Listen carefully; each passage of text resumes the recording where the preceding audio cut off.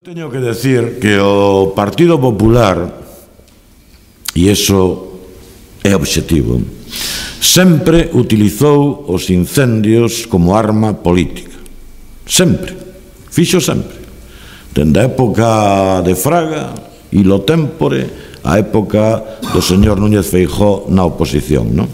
e nós dende logo eh, para nada e eu de logo para nada vou a facer o mesmo que eles fixeron. Pero hai unha cuestión clara neste momento. Galiza arde.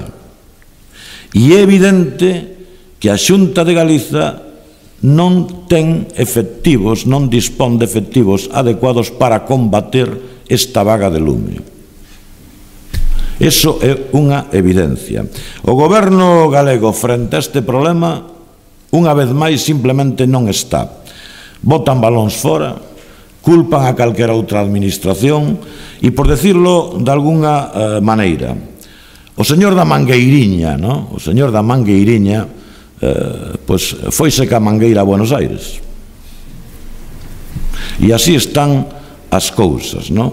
Dende logo, recortes eh, que preconiza o Partido Popular en fin, como a solución dos problemas, ao final é desgracia, para a xente, en este caso tamén para, fin, para o mantenimento, desde logo, da nosa masa forestal, etc. etc non? Eh, a mí me parece que non é de recibo non? o que está eh, facendo a xunta e, dende logo, volvemos ao mesmo. Está aí para gobernar, para tomar decisións, para tomar medidas e, no caso que nos ocupa, francamente, para combatir eh, con todos os medios eh, pues, en fin, esta traxedia que outra vez estamos vivindo no noso país. Non?